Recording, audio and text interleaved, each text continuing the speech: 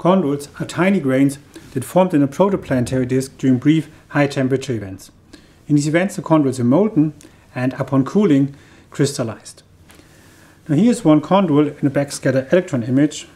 This is the rough outline of this chondrule and contains as main minerals olivine and pyroxene, so these are larger clasts. Also opaque phases like here for example might be metal or sulfide. And in between these porphyritic clasts is this grayish material which is called mesostasis. It is calcium and aluminum rich and is mostly fine crystalline or glassy, indicating that the chondrules must have been quenched or at least fast cooled after the heating event.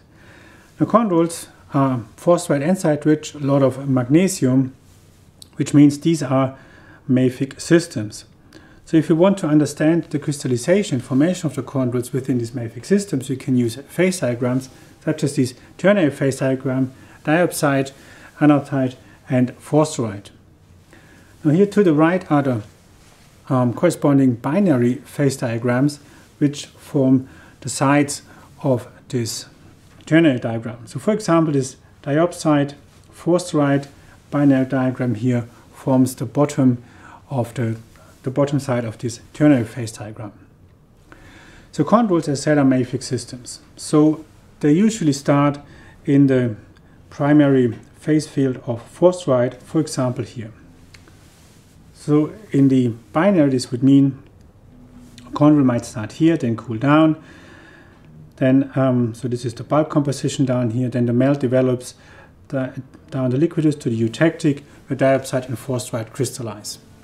So in the ternary, this melt develops away from the forsterite, and now here hits this cotectic line, where anorthite and forsterite form. And then it develops down the cotectic to the eutectic, so this is anorthite forsterite here, and then diopside joins the paragenesis.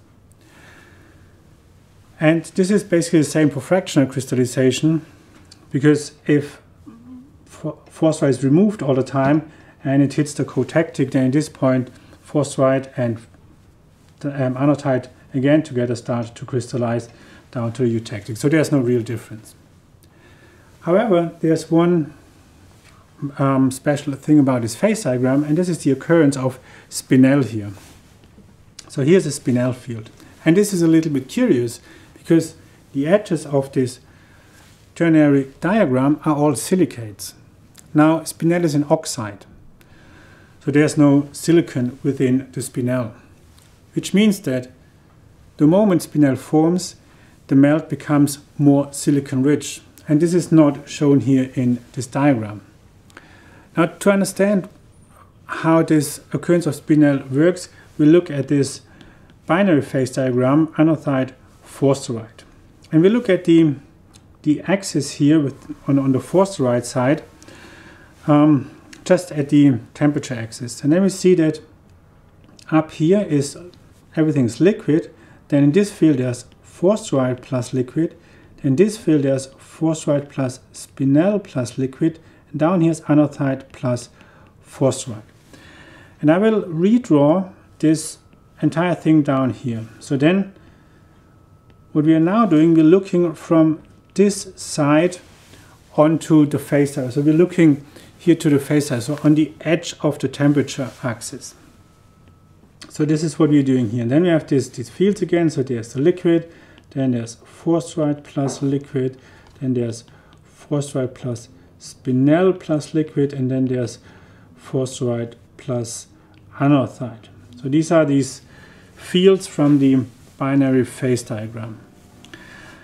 Now I said if you start to cool down, I take a different color here, so if you start to cool down here, then first forsterite will crystallize.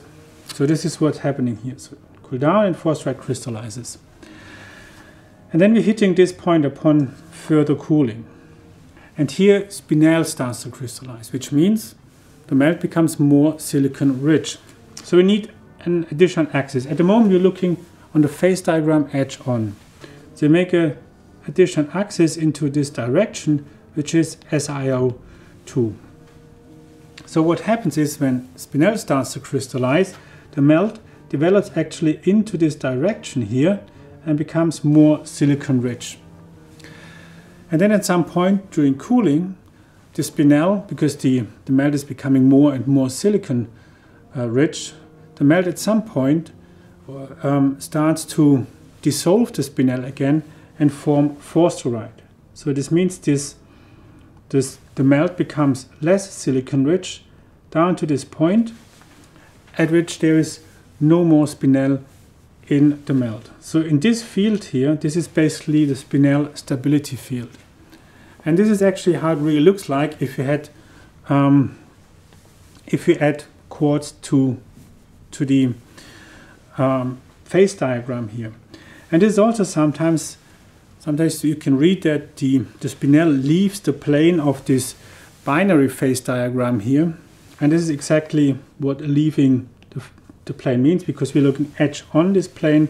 So this is then upon cooling spinel crystallizing more and more and more spinel and then melt becomes more silicon rich and then at um, lower temperatures the silicon again or the, the spinel again dissolves and then at this point all the spinel is dissolved and only forsterite and anorthite crystallize.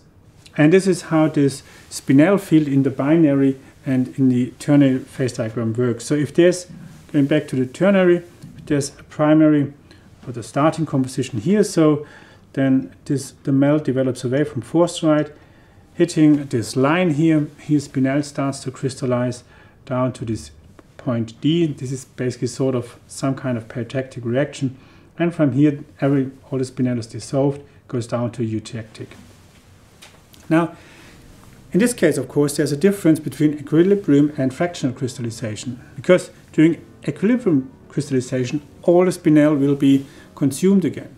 However, in fractional crystallization, some of the spinel might remain within the melt.